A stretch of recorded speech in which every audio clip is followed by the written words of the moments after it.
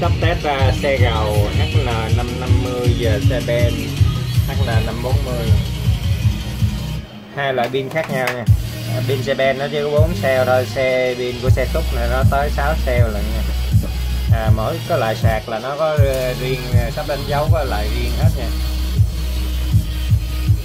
Rồi sạc thì nó mình dùng sạc cái, cái đắp sạc của điện thoại mình gắm vô nên nó không có kèm cái đắp sạc với cái sợi dây sạc thôi. Rồi trước tiên là mình mở remote lên trước. Rồi mở xe lên. Rồi nó kêu biết tiếp gì là nhận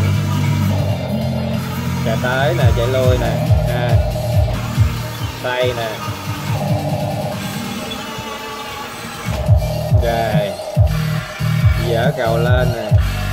Dở dở biểu xuống nè. Rồi viên rồng đó. rồi kéo lên. À, nó cử động 3 phần viên viên biệt khác hẳn so với là mẫu 510 không.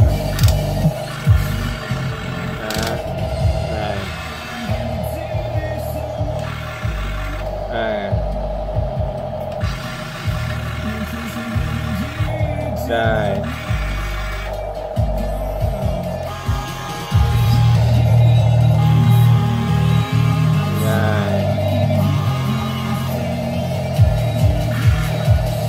rồi ok. Là 540 mở remote lên trước. Rồi mở xe lên. Tiến tới. Lùi. À, xoay trái xoay phải. Hai bánh nó là mỗi bên độc lập với nhau. Rồi. Rồi dở gầu. Rồi dở gầu.